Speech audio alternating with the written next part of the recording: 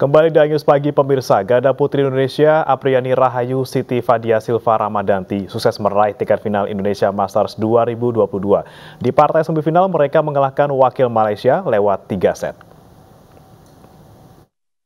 Oh, luar. Dan tentunya juga pengamatan yang Laga semifinal Indonesia Masters 2022 di Istora Senayan, Jakarta berlangsung semarak.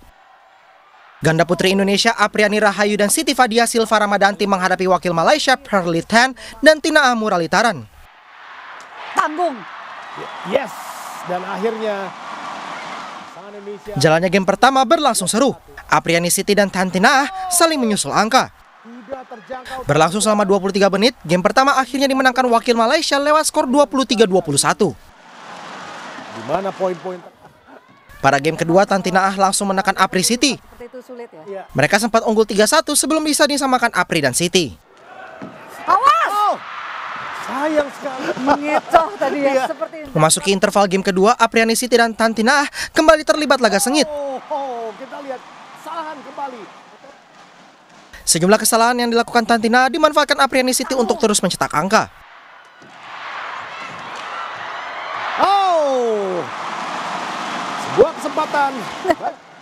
Akhirnya ganda putri Indonesia mampu menutup game kedua lewat kemenangan 21-14. Terakhir, game kedua diambil. Di game penentuan, Apriani Siti bermain impresif.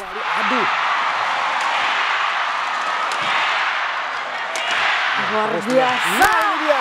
Fadia Oh, dari tengah lalu melakukan bagi Indonesia atas Perolehan poin keduanya sulit dikejar wakil Malaysia hingga laga berakhir 21-14 untuk kemenangan ganda putri Indonesia.